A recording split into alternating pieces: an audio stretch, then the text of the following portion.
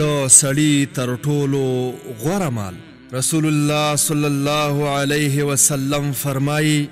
تر ټولو غوره دینار یعنی مال هغه دی چې